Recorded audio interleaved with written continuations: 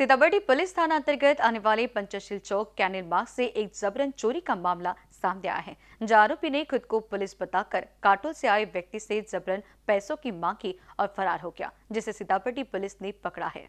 दरअसल दिनांक 26 जून को लगभग पौने पाँच बजे काटोल से फिरियादी इलेक्ट्रिक सामान लेने के उद्देश्य से नागपुर आया, जिसके बाद उन्होंने गांधी बाग क्षेत्र से संबंधित सामग्री की खरीदारी की और वापस लौटने के लिए सीतामढ़ी पुलिस थाना अंतर्गत आने वाले पंचशील चौक कैनल मार्ग पर आया। उसके बीच मूलता चंद्रपुर निवासी एवं अभी नंदनवन में रह रहा आरोपी परिश दिलदार ने स्वयं को पुलिस बताकर फिरियादी से पैसे छीन लिए गौरतलब है कि आरोपी पहले से ही कदम पे कदम रखते हुए फिरियादी का पीछा कर रहा था, जिसके बाद आरोपी ने फिरियादी के पास से बीस हज़ार पाँच सौ रूपए छीन लिए और फरार हो गया, जिसके चलते फिरियादी ने संबंधित मामले की शिकायत सीताबड़ी पुलिस में दर्ज कराई है, जिसके बाद कड़ी मशक्कत के बाद आरोपी को गिरफ़्तार किया गया है। जाँच के दौरान पता चला है कि आरोपी कुछ भी काम नहीं करता है और इसके पहले भी उस पर गांजा के संबंध में मामला दर्ज है, जिसकी जानकारी सीताबर्डी के वरिष्ठ पुलिस निरीक्षक आसाराम चोरमली ने दी है।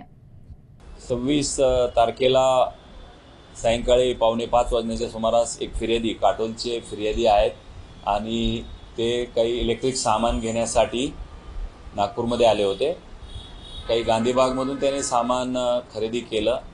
बहुतेक तिथून गुन्हेगारांनी त्याचा पाठलाग केलेला आहे आणि बर्डी हद्दीत पंचशील चौकामध्ये त्याला कॅनल रोडला घेऊन गेला आणि ते त्याच्याकडून मी पोलीस आहे तुझ्याकडे किती पैसे आहेत ते दाखव हे बहाणा करून त्याच्याकडून वीस हजार पाचशे रुपये हिसकावून दिले होते.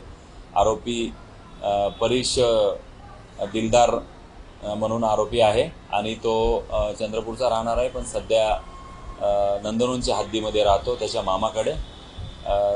आमच्या police स्टेशनकडून P S I Tiwari Chetan Shende Praveen Wakode आणि संपूर्ण टीम गणेश रंबापुरे त्याच्यानंतर सुशांत वाडवे यांनी त्याचा पाठपुरावा केला अत्यंत बारकाईने आणि त्याला डिटेक्ट केले त्याला गाडीसह आणि ताब्यात घेऊन अटक करण्यात आली आणि त्याने गुन्ह्याची कबुली दिली आणि त्यामधील मुद्देमाल सुद्धा संपूर्ण रिकवर करण्यात आलेला आहे.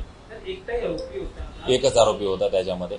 तो काही कामधंदा करत नाही. त्याच्यावर यापूर्वीचा एक गांजा पिण्याचा गुन्हा सुद्धा नोंद आहे. कैमरा पर्सन अखिलेश भारद्वाज के साथ मनीष डिमरी की रिपोर्ट.